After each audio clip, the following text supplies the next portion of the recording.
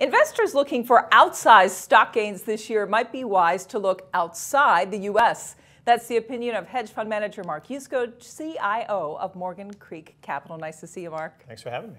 Generally speaking, you think the U.S. is overvalued by and large? I think it's fairly valued to overvalued in certain sectors, depending on where you look. But generally speaking, we think it's closer to overvalued than undervalued. where is it not? Where is there an opportunity in the U.S.? You know, we think there are a few opportunities in healthcare, probably outside biotech. Biotech looks a little frothy to us, but other healthcare names we think are interesting. Uh, airlines and transportation we think looks pretty good, the cruise lines and, and uh, things that depend on oil as an input cost.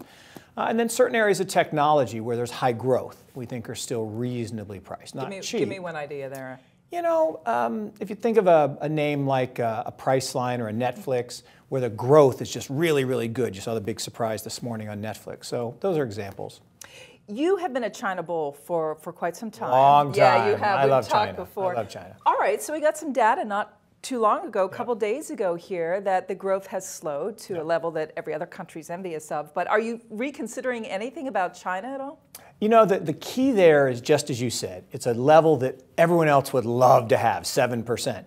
And the thing about GDP growth is high GDP growth usually doesn't translate into high stock prices. If you think over the last five or six years, Chinese equity market's gone down a lot, even though their GDP growth has been 7 8%.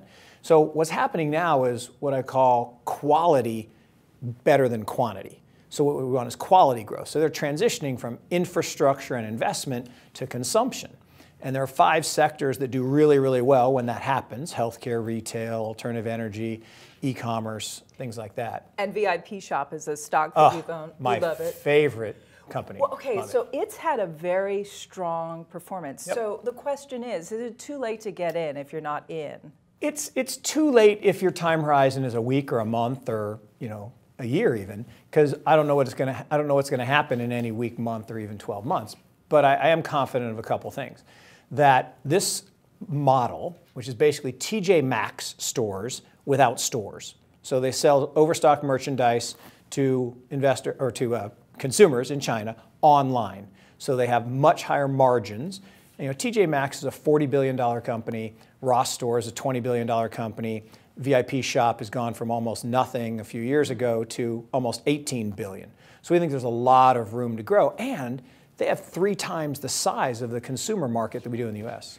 Within Asia, you're also a big fan of Japan. You actually think Japan yeah. will outperform the U.S. over the next five to ten years. Yep. Is yep. this simply the reforms there that have really taken a hold? I'm a big fan of Abenomics. I think Abe-san and, and Kuroda-san are really great leaders. And I think any place where there's great leadership, you have great opportunities to make money. Uh, but I also think Japan is, is just math, right? In the U.S., you're buying peak margins, very high margins, and peak multiples. Okay? In Japan, you're buying trough margins and trough multiples, kind of like the United States in 1982. It was hard to go wrong shooting fish in a barrel. I think the same thing's true in Japan today. And even after this huge run over the last two years, the PE of Japan is lower because their earnings are growing so mm-hmm. fast. And you like financials in particular in Japan? The financials are, are really a, a pent up play or a coiled spring play on the growth that's coming back to Japan. I want to move to Russia because you wrote a potential surprise for this year was yeah. the performance of Russian equities. And yeah. if anyone read that and looked at what happened in Russian equities last year, they exactly. might have thought, what is going on in your mind? Oh, I got lots of Twitter haters hating on me on that one. I would so because it was an oil play. People sold Russian yeah. stocks, oil prices went down. Listen, you're bullish on Russia. Russian equities have recovered. Oil prices, not so much. Not so, so, much. so what has happened here? Well, a couple things. So, really, all of the loss last year in Russia was currency. You know, as oil prices fell, the ruble started to collapse. It went down 45%. The market went down 45%. Stocks in ruble were actually flat because they were so cheap to begin with. I mean, you're talking about oil companies selling at two and three times earnings. You're talking about the biggest bank, Sberbank, selling at three or four times earnings. So these are real businesses. You know, Sberbank has 62% deposit market share. Name a bank around the world that has that. No one. So these are real businesses, but there was fear about Russian sanctions, about the Ukraine crisis. Uh, I think a lot of tempest in a teacup concern, but still there was concern.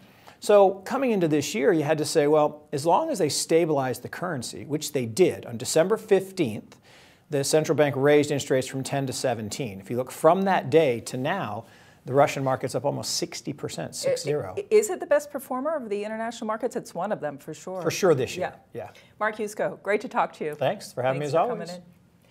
I'm Rhonda Schaffler for The Street.